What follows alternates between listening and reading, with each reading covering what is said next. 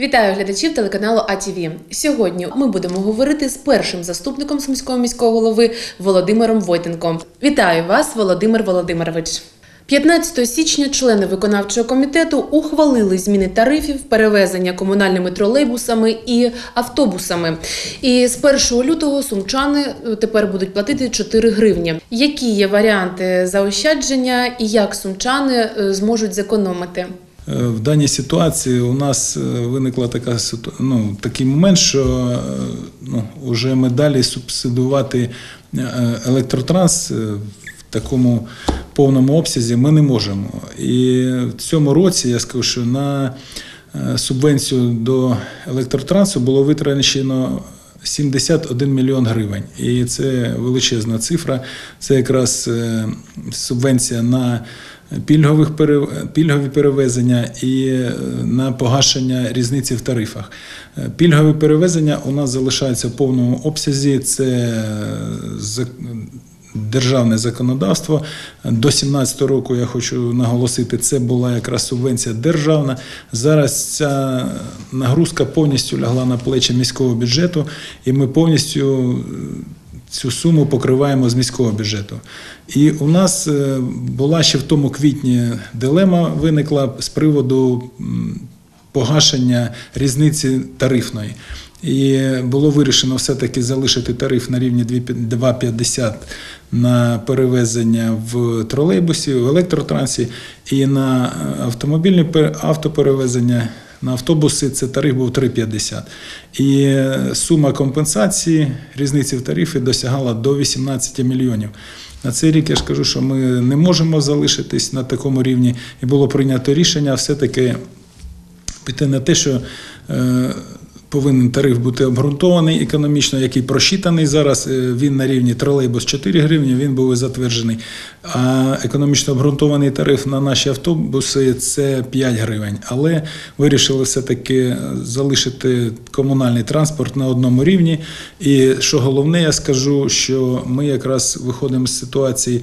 Тієї, що е, зараз ми ставимо якраз завдання більше випускати е, проїзних квитків, більше надавати можливість купувати проїзні квитки. І я й закликаю сумчан, тому що в принципі зараз е, 120 гривень коштує проїзний квиток на місяць.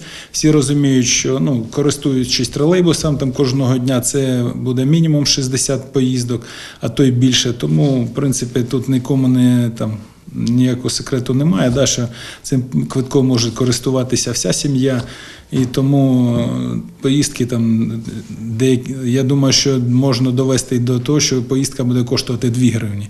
Е, Плюс ми 50% даємо на проїзні квитки знижку. Це для наших студентів, для наших школярів, е, для наших учнів професійних училищ. Тому Тут ніякого, я думаю, що ніякої проблеми немає. Ну і плюс я ж кажу, що дорослі люди, які е, користуються нашим транспортом постійно, думаю, що вони не відчують зовсім цього підвищення, але різниця в тарифі дуже суттєва. І я тут хочу подякувати мешканцям, тому що, в принципі, я там, коли користуюсь е, громадським транспортом, бачу, що ніяких там е, несплати чи незадоволення немає. Всі люди нормально відносяться, і наше комунальне підприємство нормально працює.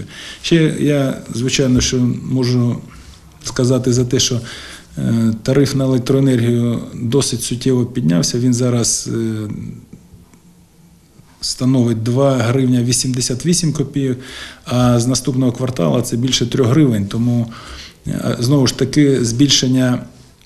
Оплати за електроенергію це на рік буде складати, якщо не буде наступного підвищення, це близько 4 мільйонів і, е, в місяць. І точно так же е, близько 4 мільйонів це різниця зараз при підвищенні е, заробітної платні, як при збільшенні мінімальної зарплати. І ми зараз маємо таку ситуацію, що також майже 4 мільйони в місяць це додатково треба сплачувати заробітної плати. Це добре, що люди отримують гарну зарплату, але е, звичайно, що ну, і підприємство повинно отримувати свій прибуток.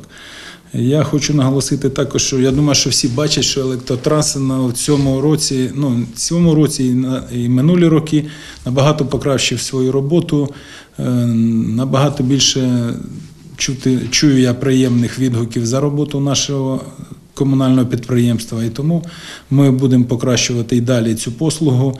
Звичайно, що соціальне, соціальне навантаження, те, що ми. е, Наші пенсіонери, школярі до 4 класу всі користуються нашим транспортом безкоштовно, і інші соціальні категорії. Так що все залишається на рівні. Я думаю, що тільки робота буде кращати. Ну і звичайно, що була у нас дискусія з приводу того, що залишати, не залишати погашення цієї різниці в тарифі, але е, той, же момент, що зараз. е, Є триває велика дискусія така, і в тому числі в суспільстві, в місті, за те, що е, обласною радою виведені підприємства з міста, керівництвом. Тим більше мене дивує позиція деяких керівників обласної державної адміністрації, коли говориться і нормально покривається така дія проти міста, коли з міста просто вивели величезну кількість. Це сума більше сі- 74 мільйонів податків. І коли роз- починають там оправдуватися якимись моментами.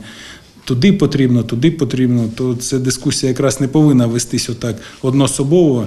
Можна сідати і обговорювати, і вирішувати це питання. А так як е, люди видають е, ну, одноособово, що вони там десь у міста заберуть і перерозподілять правильно, е, ну, це просто ламає державну політику в в податках і бюджетний бюджетний кодекс він встановлює, що підприємство, яке працює в місті, де знаходиться, там і сплачуються податки. Взяли, повиводили по, по селам, по районам навколо міста. І знову ж хочу сказати, що ну просто дивує позиція і тих же керівників, які керують е, ОТГ, тим же Краснопильським, чи Білопіллям, чи Сумським районом. Ну як, як ви можете відноситись до своїх сусідів так? За дорученням сумського міського голови робоча група е, перевірила фактичне місце знаходження цих установ. Е, Які результати з цього вийшли? Міський голова видав розпорядження щодо перевірки знаходження цих підприємств за адресами, вказаними е, в реєстраційних картках, і жодне підприємство не було там. Знайдено ні керівник, ні бухгалтер, ні стола. Е, Тим більше, що бачили, там ми можемо надати цей звіт. Це просто жахливі умови. Там хати, які течуть, там і десь повиділяли по 4 квадратних метра і зробили цю фіктивну дію і розказують, що комусь там буде від цього гарно. Тому перевіркою не встановлено жодного підприємства, яке б знаходилось там чи в селі Кальченки Білопільського району, чи в селі Славгород Краснопільського району, чи в селі Косівщина. Так що я розумію, що вони можуть там якогось дядька посадити і казати, що це там знаходиться офіс. Але це ж кажу, що ну, це просто е, фіктивна дія, замилювання очей. Сумчани просто не повинні страдати від цього. Чим завинили сумчани, я кажу, щоб отак до них відносились. У зв'язку зі змінами бюджет Сум втратив понад 70 мільйонів.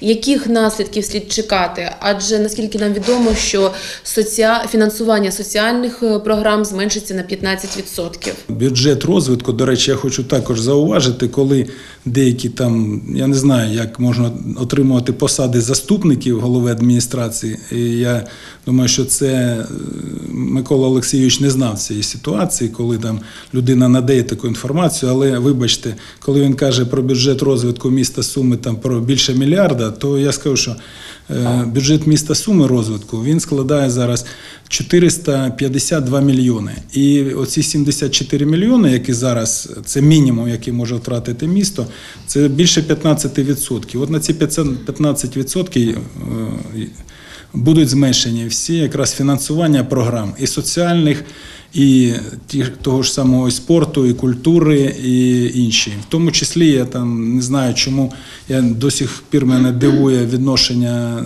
наших чиновників обласних до е, благоустрою наших прибудинкових територій, але хай вони прийдуть на особистий прийом до міського голови чи заступників і подивляться, скільки звернень з цього приводу. Я скажу, що 70% це якраз звернення людей, які хочуть бачити свої е, своє житло, свій, свій двір комфортним. І там, де люди живуть, якраз ми там і працюємо. Це ж не, не приватні будинки, це якраз ці будинки, де мешкають наші люди. Так що робили і будемо робити, але будемо вимушені зробити менше в цьому році. Я маю надію, що все-таки ми доб'ємося, ці податки не підуть з міста, але поки що ніякого нормального руху в нашу сторону нема. Ви говорили, що міська влада направляла звернення до правоохоронних органів, Генеральної прокуратури та керівництва держави, але відповіді ви тоді не отримали. Яка ситуація нині? Ну, Ситуація поки на тому ж місці, і ми поки що не маємо жодної відповіді. Е, Але я маю надію, що все-таки після свят зараз і правоохоронці звернуть увагу на цю ситуацію. Тим більше, що я знаю, вже є і по соціальному страхуванню проблеми з зв'язку з виводом підприємств з міста, і люди там є проблеми по отримуванню і тих же коштів по лікарняним. Так що е, я думаю, це ну, запустили такий ненормальний механізм. Той же народний депутат Олег Медоніця казав за те, що це просто алогічні дії, і тим більше дії, які вчиняються першими особами області. Оце що дивує. І тим більше, що це мешканці міста Суми, які проживають в місті. І таке відношення воно не зрозуміло. Які плани у міської ради щодо покращення технічно-матеріальної бази для онкодиспансеру, де проходять лікування сумчани? Я хочу сказати за те, що місто Суми в тому році виділило 500 півмільйона гривень на реконструкцію, на ремонт будівлі онкодиспансеру. В 2017 році ми ще виділяли півтора мільйона на покращення технічно-матеріальної бази, на обладнання медичне, але чомусь е, управління охорони здоров'я області не змогло освоїти ці кошти, і ці кошти перейшли на 2018 рік. Також вони зараз переходять на 2019 не освоєні. Півтора мільйона місто е, дало. З, тим, що я думаю, ну хай покажуть приклади інших там районів чи міст, які вкладають в цей медичний заклад. І плюс ми зараз опрацьовуємо питання про виділення коштів на прискорювач лінійний 5 мільйонів 900 тисяч. Це є звернення, і воно опрацьовується. В принципі, я кажу, в такій ситуації просто-напросто сідає керівник області, організовує нормальну робочу групу, домовляємося. Є державне фінансування, є обласне і міське. Місто не відмовляється від своєї частини, тим більше, що я тут повністю погоджуюсь з фахівцями, з медиками за те, що онкозахворювання зараз є дуже таким важка ситуація, і це треба виправляти. Так що місто е, ні в коєму разі там, ми знаємо, що ця проблема вона існує, тим більше, що ну, її треба вирішувати однозначно. Сумський ЦНАП знову лідирує, і у рейтингу Центр надання адміністративних послуг був визнаний найкращим серед е, всіх ЦНАПів в Україні. Конкурс проводився серед 185 міст України, е, всіх міст обласного значення, і в тому числі міста Києва. Я скажу, що наш СНАП зайняв перше місце по роботі, по якості роботи, по кількості наданих послуг. І тут я хочу привітати своїх колег, подякувати, тому що те, що ми вкладали, те, що скільки ми робили, знову ж таки, на розвиток нашого центру надання адміністративних послуг, от воно дало результат. І я тут окремо хочу подякувати Стрижовій Алі Вікторовні, тому що вона е, детально опрацьовує кожну дрібничку, і ми з нею зустрічаємося, постійно спілкуємося. Я скажу, що ну, та цифра, що за рік е, було надано майже 650 тисяч адміністративних послуг, це просто вражає. І тут якраз знову повертаючись до того, що каже, що ми збільшили штат е, міської ради, держава все більше і більше передає нам повноважень. Децентралізація вона принесла не тільки там наповнення бюджету більше, да? хоча тут можна дискутувати з приводу там.